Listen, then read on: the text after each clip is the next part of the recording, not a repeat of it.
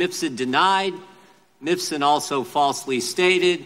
In addition, Mifsud omitted. Three times he lied to the FBI, yet you didn't charge him with the crime. Can't get into the evidentiary file. Uh, yes, you can because you wrote about it. You gave us the answer. Page 192 of the report, you tell us who told him. Joseph Mifsud. Director of the FBI interviewed Joseph Mifsud on February 10th, 2017. In that interview, Mr. Mifsud lied. You point this out on page 193, volume 1. Mifsud denied.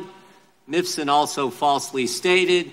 In addition, Mifsud omitted. Three times he lied to the FBI, yet you didn't charge him with the crime. Excuse me, are, did you say not? one? I'm sorry, did you say 193? Volume 1, 193. He lied three times, you pointed out in the report. Why didn't you charge him with the crime?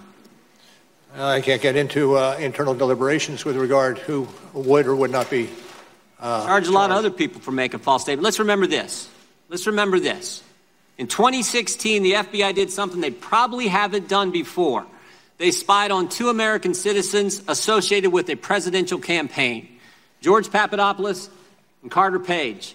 With Carter Page, they went to the FISA court. They used the now famous dossier as part of the reason they were able to get the warrant and spy on Carter Page for a better part of a year. With Mr. Papadopoulos, they didn't go to the court, they used human sources. All kinds of, from about the moment Papadopoulos joins the Trump campaign, you got all these people all around the world starting to swirl around him. Names like Halper, Downer, Mifsud, Thompson, meeting in Rome, London, all kinds of places. The FBI even sent, even sent a lady posing as somebody else, went by the name Azra Turk, even dispatched her to London to spy on Mr. Papadopoulos. In one of these meetings, Mr. Papadopoulos is talking to a foreign diplomat, and he tells the diplomat, Russians have dirt on Clinton. That diplomat then contacts the FBI, and the FBI opens an investigation based on that fact. You point this out on page one of the report. July 31st, 2016, they open the investigation based on that piece of information. Diplomat tells Papadopoulos, Russians have dirt, excuse me, Papadopoulos tells a diplomat Russians have dirt on Clinton. Diplomat tells the FBI. What I'm wondering is who told Papadopoulos? How'd he find out? I can't get into the evidentiary file. Yes, you can because you wrote about it. You gave us the answer. Page 192 of the report, you tell us who told him. Joseph Mifsud.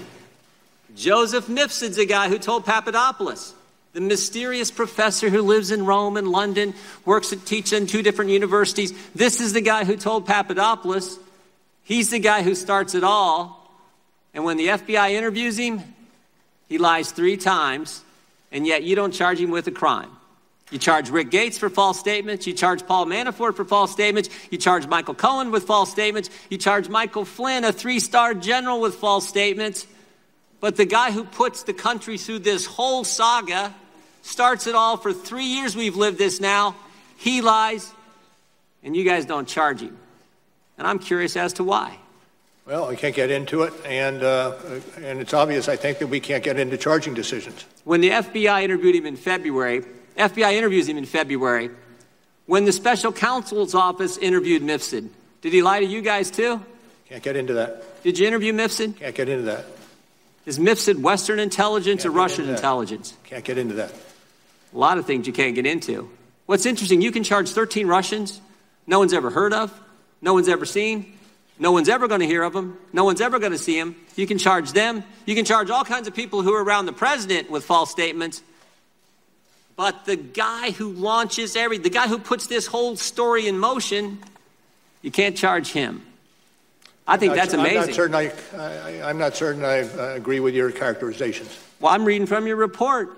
Mifsud told Papadopoulos. Papadopoulos tells the diplomat. The diplomat tells the FBI. The FBI opens the investigation July 31st, 2016. And here we are three years later, July of 2019. The country's been put through this. And the central figure who launches it all lies to us.